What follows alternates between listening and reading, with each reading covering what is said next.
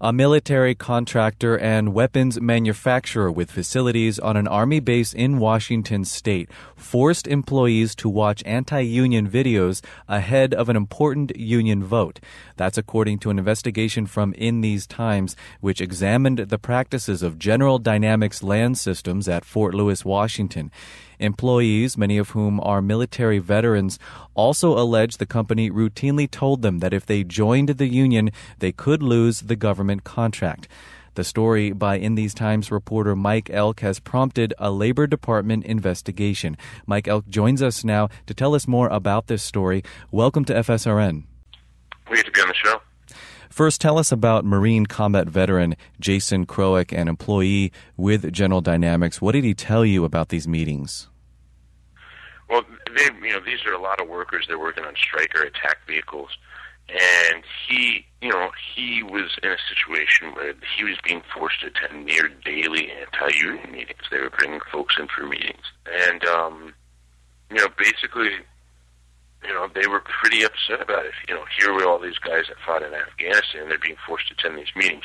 Now, Croick also told me that they would make them mark the meetings as training on their time cards, and there was a suspect that um, that you know the the company was secretly charging the meetings to the federal government and seeking reimbursement for the meeting. And where did the meetings take place? on an army base. I mean, that's what's really incredible about this was this wasn't private property. They forced workers to attend these meetings on public property of an army base, and the union wasn't allowed to come in and talk to anybody about it. That's the really incredible part. In your article, you include a response from the president of General Dynamics, uh, Mark Roualet. He was responding to questions from Congress. He said, quote, We have conducted these meetings in a non-threatening and non-coercive manner and in according with applicable laws. Meetings held since January 2012 have not been charged as training and have not been billed to our customer, meaning the, the federal government. Give us some background about General Dynamics. What kind of work do they do for the U.S. government? How big are their contracts?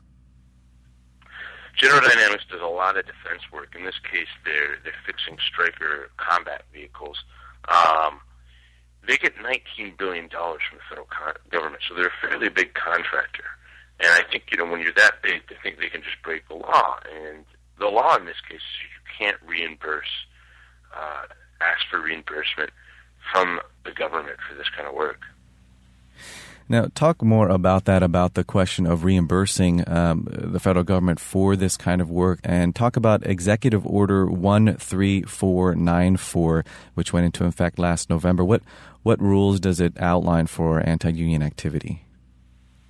So basically, the the executive order passed by Obama says that uh, you know that that basically contractors can't seek reimbursement from the federal government for what they do.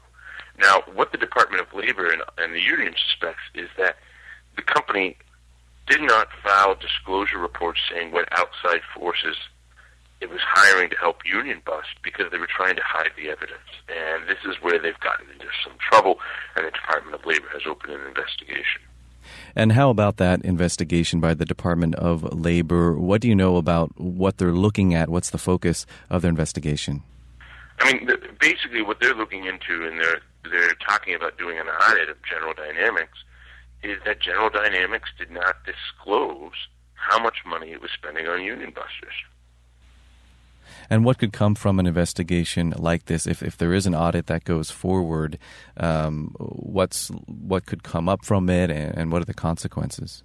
What what could come up is that they did indeed charge the federal government, and this was the practice, and it could lead to them losing uh, their government contracts, perhaps potentially, or having to pay back the government. But it could, you know, or citations.